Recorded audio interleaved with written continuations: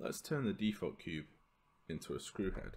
Let's select it, Control 3, and we're going to apply it, Control A.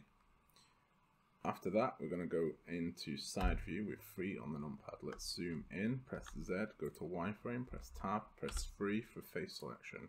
Select all these faces, press X and delete faces. Select this bottom edge, so 2, Alt, click, S, Z, 0 and then we're going to right click with loop to tools enabled. We're going to click circle and then we're going to go and select all with A, S, Z to scale it down. Press G and Z to move it down.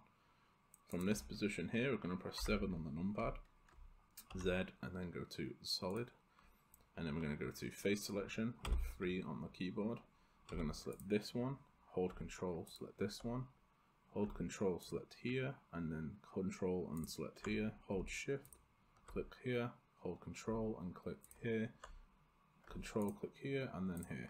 So we have all of these in this pattern. We're then going to press I to insert. We're going to press Alt E, extrude along normals, S, Z, 0. Select these outer faces, just like so.